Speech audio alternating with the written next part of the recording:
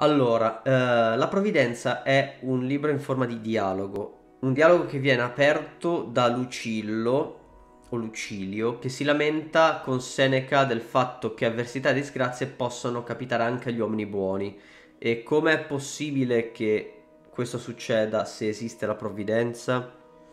Seneca risponde dal punto di vista stoico, cioè all'uomo buono non può succedere niente di veramente brutto perché gli opposti non si mescolano.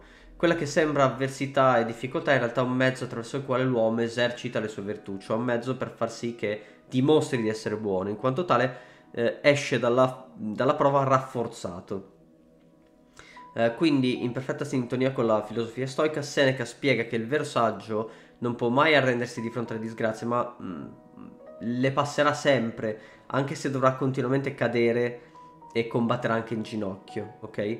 Il saggio eh, comprende il destino e il suo disegno, quindi non ha, non ha, nulla da temere dal futuro e né deve sperare in nulla perché ha già tutto ciò di cui ha bisogno, cioè il suo buon comportamento. La conclusione è che in realtà non succede niente di male agli uomini buoni, basta capire cosa significa male. Il male per il saggio sarebbe avere un comportamento malvagio, commettere delitti, desiderare denaro o fama. Chi perché chi si comporta con saggezza ha già tutto il bene possibile, che è il proprio comportamento.